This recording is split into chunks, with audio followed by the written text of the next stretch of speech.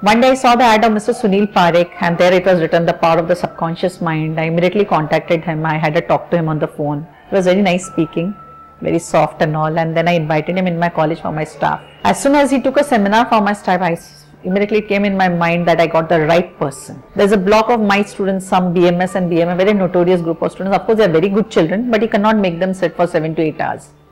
उनके लिए मैंने प्रोग्राम करवाया मैंने बच्चे लोगों को सेमिनार हॉल में बोल के आए कि आपको एक घंटा सर के साथ बैठना है। एक घंटा अच्छा लगा तो अच्छी बात है, नहीं तो आप एक घंटे बाद निकल के चले जाना। There is no compulsion but one hour first one hour is a compulsion from my side when I went at the end of the day at five o'clock the session start at ten and when I went at five o'clock all my three hundred students were sitting then I realise that I got the right person for the right students of mind I had an interaction with him where he gave the experience of a Gujarat school and when I happened to talk to the principal, the principal gave great experiences that not only the students have changed, the teachers have also changed. In India, we, when we are not well, we go to a doctor.